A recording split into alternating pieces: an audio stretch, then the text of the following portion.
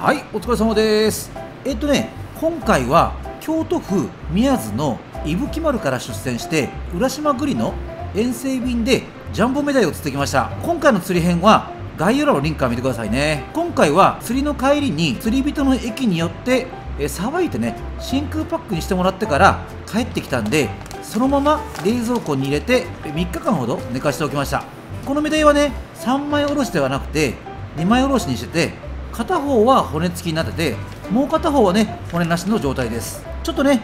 やっぱりジャンボメダイは大きいんで釣り人の駅のようなプロにさばいてもらうのが、まあ、一番だと思うんですけどそれでもねジャンボメダイを自分でさばいてみたいっていう方は概要欄のリンクから前回の料理動画を見てくださいね。今日はねこのメダイはお店用に全部西京漬けにしようと思うんですけど少しね残った部分で刺身とね煮付けもね作ろうかと思います。それではねお店の営業が終わって今はね夜の12時前なんでさっさとね仕込みを終わらせてしまいたいと思います。今から切り身にしていくんですけど今日は時間がないんで切り身にするまでは、まあ、前回のねメダイの料理編を見て、えー、参考にしてくださいね。全部切り身にできたんでこれをね西京漬けの味噌に漬け込んでいきたいと思います。漬け込む味噌の方なんですけど今日はね白味噌で 5kg 分作りました。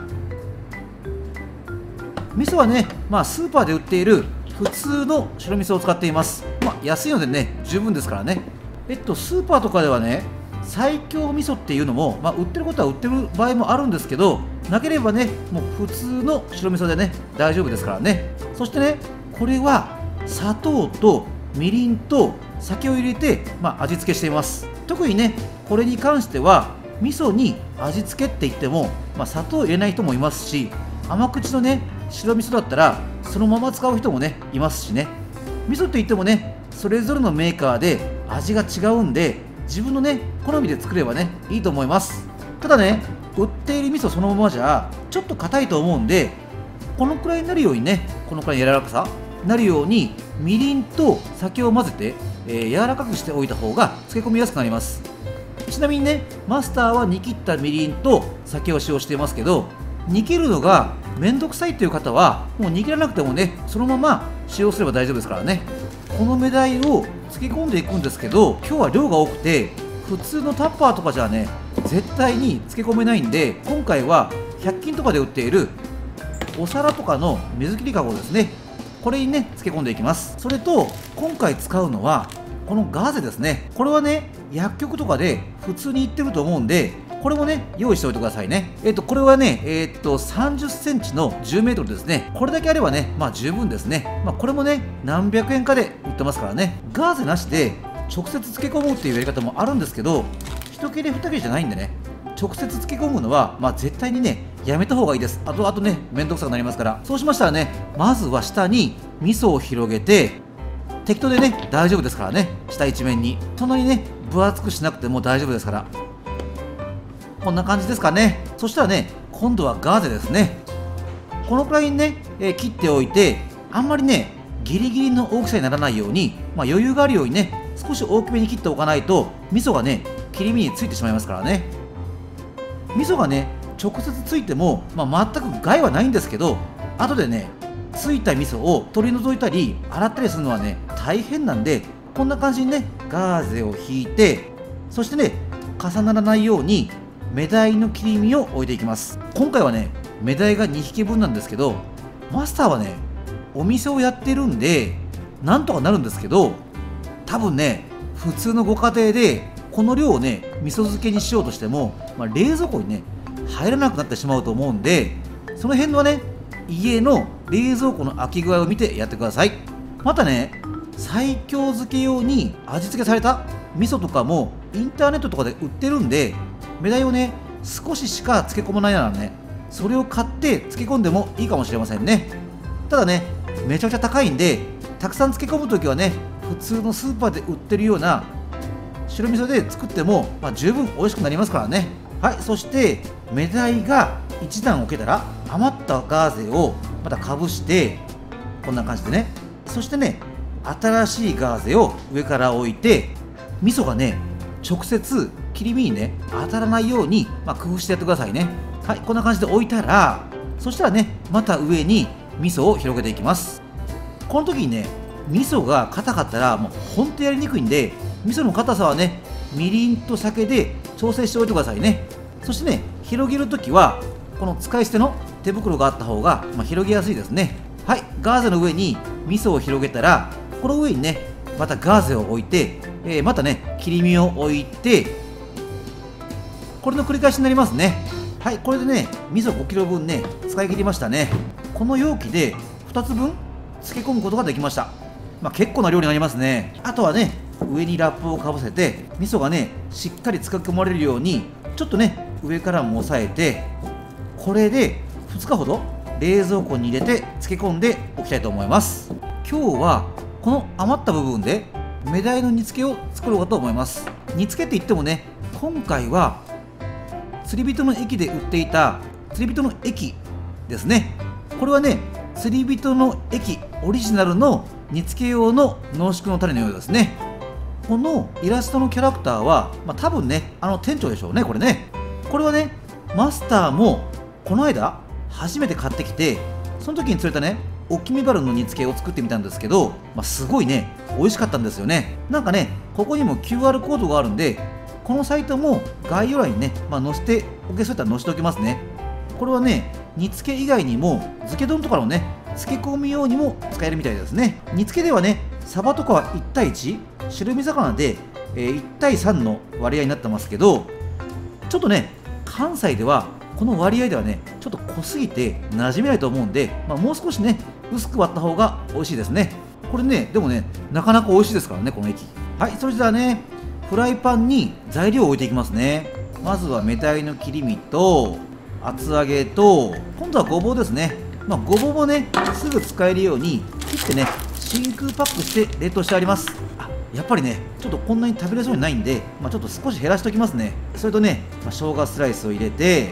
とりあえずねこの材料で煮つけます。今回はね釣り人の液と、えー、水で5対1の割合で煮つけていきます。まずは釣り人の液を 50cc とそして水を 250cc ですね。合わせて 300cc をねフライパンに入れて火にかけます。はいそしたらねこのまま火にかけますね。火にかけたらこのまま煮詰めていくだけです。物がいいんでね、まあ、臭みもありませんしね。煮付けなんですけど、まあ、いちいちね霜降りとかしなくてもね大丈夫ですからね。この調味料は優れもので仕上がりもねめっちゃ早いし照りののりもねすごくいいんですよね。確かね1本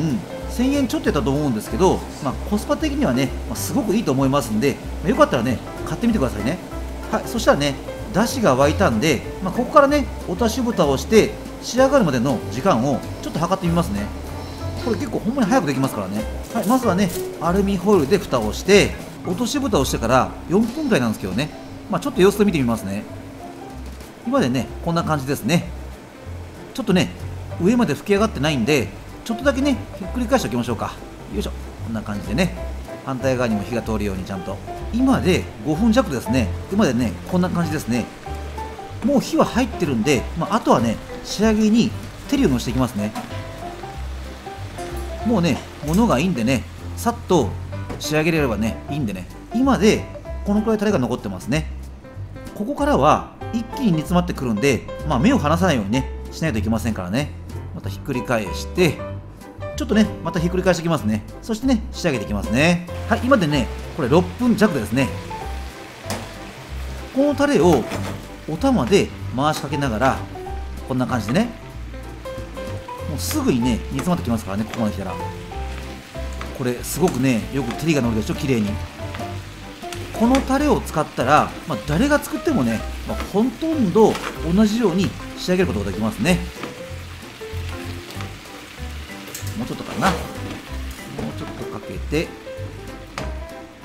っしゃまあこんなもんかな。こんな風にね、まあ、簡単にね照りが乗りますからね。それじゃあねお皿に盛り付けていきますね。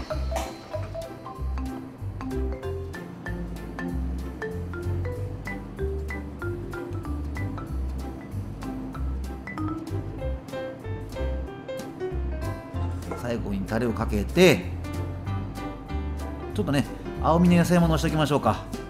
そしてねごまも振っときましょうか。はいまずはね煮付けが完成しました。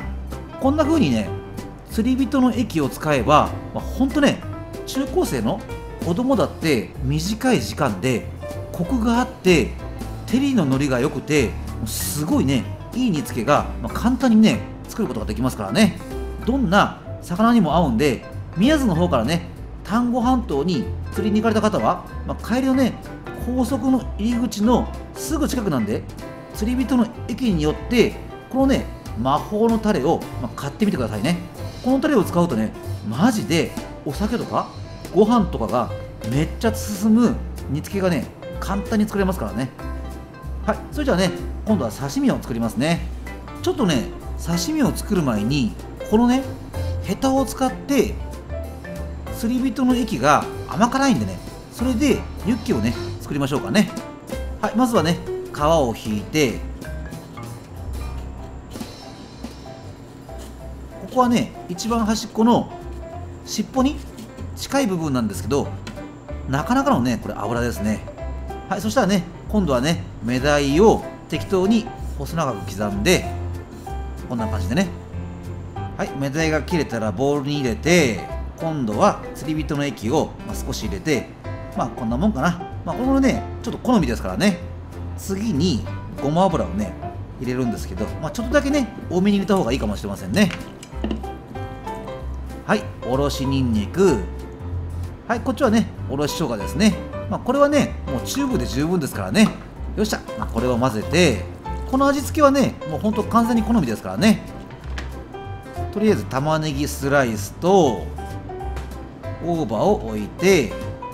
お皿に盛り付けて真ん中にねちょっと卵のせるんで真ん中をちょっとへこまして卵の黄身だけを置いて刻みネギと刻みのりとで最後にごまですね。はいそれではねユッケもできました。このタレはね魚の漬け用にも作られているんで、まあ、ちょうどよかったですね。生の魚も、まあ、刺身ばっかりじゃねちょっと飽きると思うんでこんな感じでねユッケにしても簡単にねビールのあてができますね。この腹の部分をね少し残しておいたんで、まあ、これをね刺身にしますね。まずはね腹骨をかいてよし。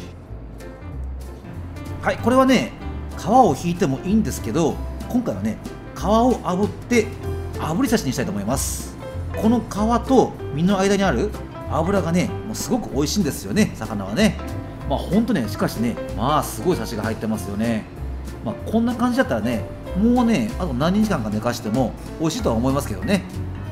ちょっとねこのままじゃ長いんで、まあ、半分にしてしまいますね。そして切れ目を入れておいて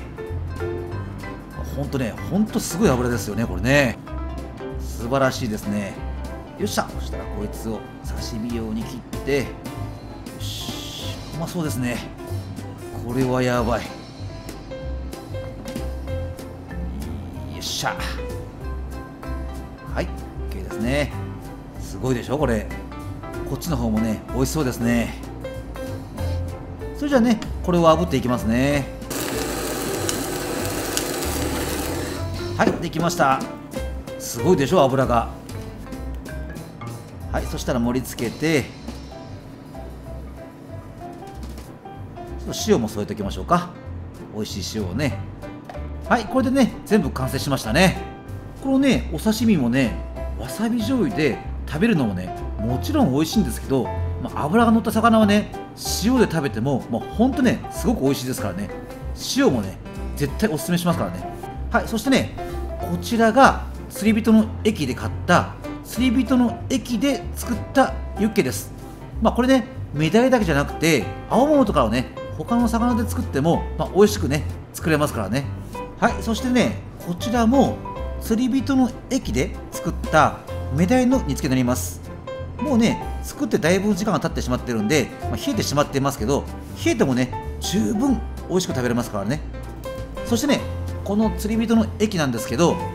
煮付けだけじゃなくて、まあ、いろんなね料理に使えるんで釣り人の駅に立ち寄った時にはね、まあ、ぜひね購入してみてくださいね。はいそれではねなんだかんだやってたらもう夜中の3時過ぎましたね。今からね調理場を片付けてこれをつまみにビールにしたいと思います。よくねビール飲んで車に帰るんかって言われるんですけどマスターの家はね歩いてすぐのとこにあるんで飲酒運転はしていませんのでねご安心くださいね。最強漬けの方はね2日後に漬け上がったらねまだちょっとだけ撮影したいと思います。はいこちらがね2日ほど味噌に漬け込んだメダイです、まあ、こんな感じでねいい感じで水分が抜けて、まあ、ツヤツヤして透明感が出て、まあ、これは何ていうんですかちょっと飴色っぽくなってるって表現したらいいんですかねこれね、まあ、とにかくね油が乗っているんで、まあ、本当にね美味しそうに仕上がってますよね。どうですかこれ？これはね、まあ後で焼きますね。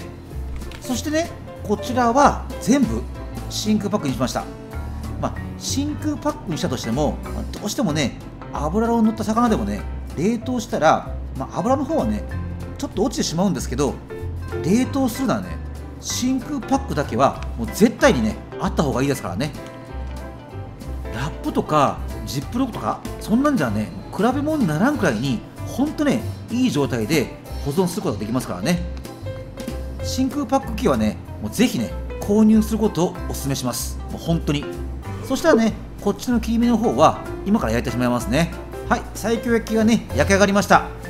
西京焼きはねどうしても焦げやすいんで焼くときはね一般の家庭なら、まあ、グリルを使うにしてもフライパンを使うにしてもオーブンを使うにしても、まあ、弱火でね焼くようにしてくださいね。あっという間にね真っ黒になりますからね。これね釣った時からいい状態を保って、まあ、持って帰ってきたんで身の方もねこんな感じでほんとしっかりしてますからね。やこれほんと美味しそうでしょ？お皿の上にもねたくさん油が滴ってますしね。こっちはねお腹の部分ですね。またねお腹の方はね油が一段と乗ってますしこれね骨の部分とミニバレルもねすごくいいですよね。ほら身もねプリップリしてるしほんと美味しそうなね西京焼きに仕上がりましたね。この皮なんかもね、まあ、香ばしく焼けていて、まあ、すごく美味しそうでしょ？ほんとすごい油やしね。